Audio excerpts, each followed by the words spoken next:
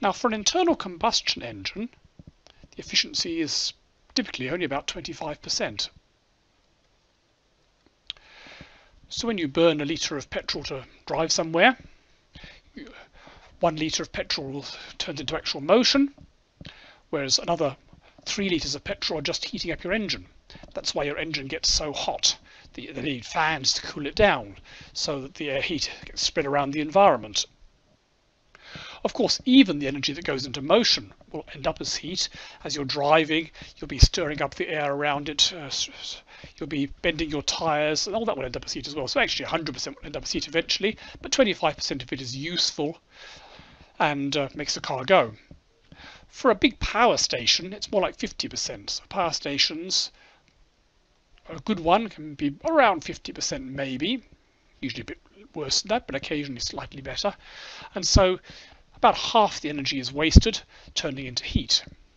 That's why power stations need things like these, cooling towers, to dissipate that other 50% of the energy that's going out in the form of heat. It's a real waste, and it's led to the idea of combined heat and power.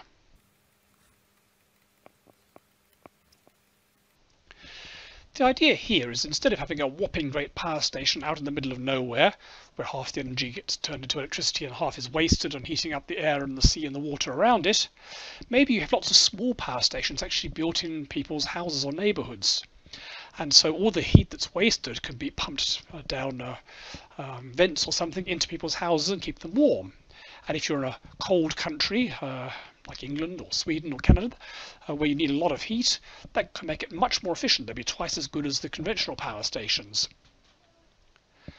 Probably not so useful in a hot country like, uh, say, Queensland on a hot summer's day when you want your electricity to run the air conditioning. Ah well.